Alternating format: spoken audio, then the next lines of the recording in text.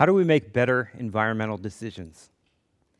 Where do we find the answers to climate change and energy dependence, the California drought, and all the other major environmental challenges we're going to face in the 21st century? I am a neuroeconomist. Uh, I study the mind, and so naturally enough, I turn to the brain for those answers. Now, neuroeconomics uh, combines behavioral economics and brain imaging to tackle big questions like how do we allocate scarce resources? Uh, how do we make trade offs between moral and economic values or between uh, long term benefits and short term gains? All of this is readily applicable uh, to the environmental decisions that we face today. But historically, neuroeconomists have mostly focused in the financial domain and left uh, environmental problems open. Uh, nowadays, we're studying them in, at Stanford, and that's what we're going to be talking about uh, today. What we gain from an environmental perspective from getting a window into the mind. Now, when we're studying environmental decision making, ideally, we'd like to first look at a macro scale, so at the population level, uh, and we can get at this with national surveys and market data and that sort of thing. But we'd also like a very micro scale, a view of mechanistically what's going on in the brain uh, as people make decisions that have real environmental consequences. To do this, we use fMRI, uh, which you can think of as time lapse photography of uh, the brain's activity. And we do this on the bridge of the Starship Enterprise here. Um, somebody lies down in the tube on the left and they interact with a computer program uh, that we've programmed and they give us answers and we scan their brain while they're doing it. And what we get out the other end, you've probably seen this kind of thing before. It looks rather like a heat map, and what we're actually looking at is called the BOLD response, or how the brain shuttles around blood and oxygen in order to meet the demands of brain activity. What can we get out of this? Well, there's a few different things where we can analyze this data. Uh, one is what brain mechanisms are responding when people are parsing, when they're processing the information that we're providing to them, right? And how do different types of people process that information differently? The second thing we can do is really exciting, and that is behavioral prediction. In the parts of the brain that we're interested in, which activity actually predicts not just individual level behavior, uh, but even population level behavior.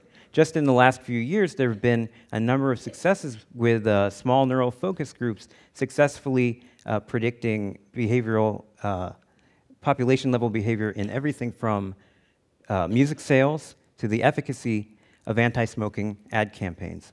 And the important point here is that it's done so better uh, than the self report, the conscious ratings that the people in those studies were providing.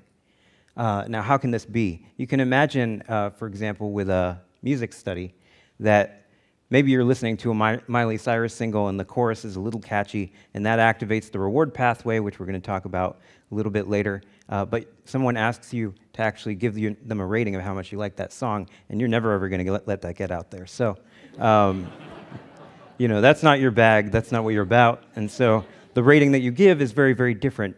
But that little part of your brain uh, activity there is much more representative of the general population level response uh, when that song goes on the radio. Uh, so those are the kind of differences that we can talk about and the differences that we gain uh, something from looking at brain imaging versus just self-report and what people are telling us. Now let's talk about environmental decision making for a minute. I want you to take a second and just look at that photograph and think about how much you'd be willing to pay for an average size print of it to hang up in your house.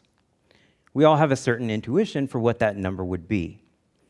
Now, let me ask you a different question. How much would you pay to protect the space, the physical, natural place? Uh, how much would you pay to ensure its continued existence? Now, many of you may be thinking that's not really a fair question, or it's even a morally reprehensible question, right? Uh, we have a good intuition for how much we pay for a cup of coffee or a TV or a print of a photograph of a place, but very little for natural resources or public goods in general. We just don't know how to put a dollar value on that. And so, like any good human being, what we end up doing is falling back on our emotions. Uh, and herein lies the problem for environmental economists. Because for litigation and policymaking purposes, they do need to get at that intrinsic value of what things are worth. When a tanker founders and ruins a pristine natural bay, you want to get some assessment not just of the economic loss from all the fisheries that were compromised, but also what it means to people, quality of life, the value that they place on that place being there and being pristine and having a vibrant ecosystem inside of it, right? Uh, and so they try to survey people to figure this out. And the problem is that in many of these sur surveys, a third to half of the respondents say, you can't put a price on that, it's invaluable. Or they name a dollar amount that's larger than what they have in their bank account. So it becomes unusable. We get another example of where self report is not really uh, beneficial for defining value. And maybe we need to look within the brain to do this. So that's what we did. Uh, we put people in an MRI machine and we asked them to make choices about um, protecting threatened natural spaces from new developmental land uses that had varying levels of destructiveness. And so we'd show them a place uh, and then a land use for that place, like mining, uh, and then an amount that they could donate. And we did this in 72 different scenarios, and one of those trials was chosen to count for real. And any donation that they made on that trial, if they decided, then uh, we would actually implement that. We would give it to their choice of the California State Parks or the National Parks Foundation. Uh, so they were making real decisions. And these people, for the most part, participated in these studies to make money for themselves. And so there's no real incentive for them to donate. But uh, over 58% of the time, people actually did uh, donate to these places to preserve them. So, what was going on in their heads when they were doing this? First, when they were seeing the, the place, uh, if they found that place to be more iconic and archetypal, uh, that activated the reward pathway in the brain. Now, we call this the reward pathway uh, because it's related to uh, you know, good food, even better wine, sex, drugs, and rock and roll. All the good stuff that we like in life tends to activate the system. It's associated with positive emotions and approach behavior, things that we desire, that we want to go and, and check out and approach. And as a result, it tends to be very predictive of behavior in uh, financial decision making, everything from when you're buying stuff to uh, gambling decisions, that sort of thing. So these epic landscapes were inspiring this pathway as well. Now, what about the land uses, right? Uh, when they saw more destructive land uses, it activated a part of the brain called the anterior insula.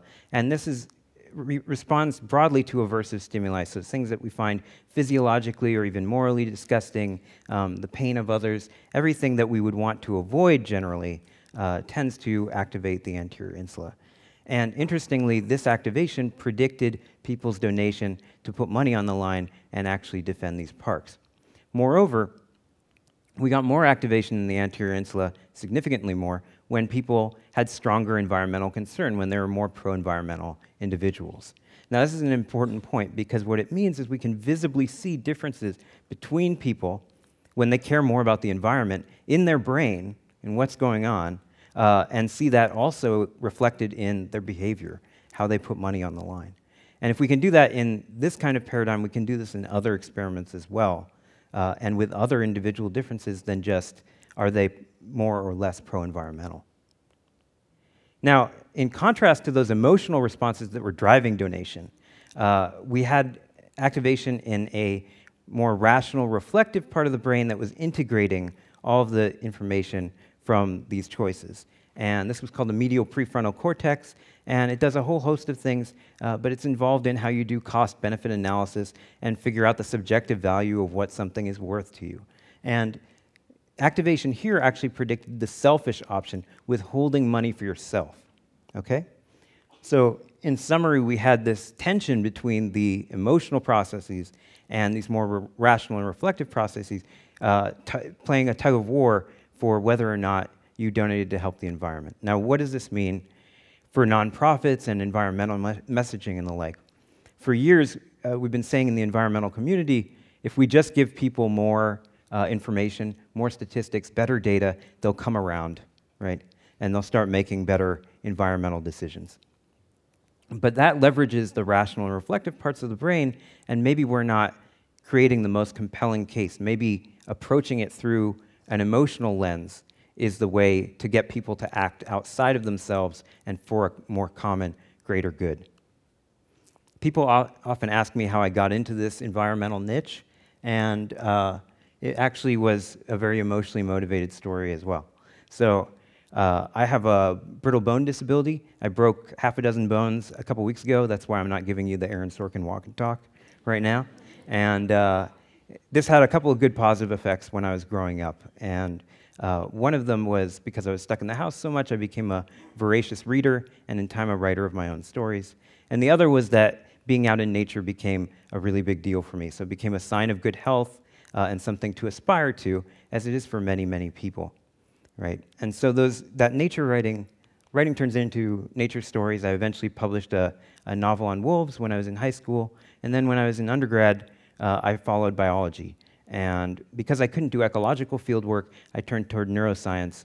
I worked on trying to mitigate damage from stroke and worked in the medical field for a number of years. But the longer I was in biotech, the more I felt like I was being pulled further and further afield from what got me interested in uh, biology in the first place. But I, at first, I couldn't chart a course back from my love of neuroscience and my love of nature and put the two together. Until late one night in, in 2009, I was reading neuroeconomics papers for fun, as one does. and uh, I, I, started noticing the stuff that we started to talk with, with, you know, it's all about trading off uh, present and future values and allocating scarce resources. And I thought, this is really cool. I wonder if anybody's done this uh, with respect to environmental decision making. And this was 2009, and I looked around and no one really had. And now we're in 2015, and still no one's really looking at this. And so, why is that?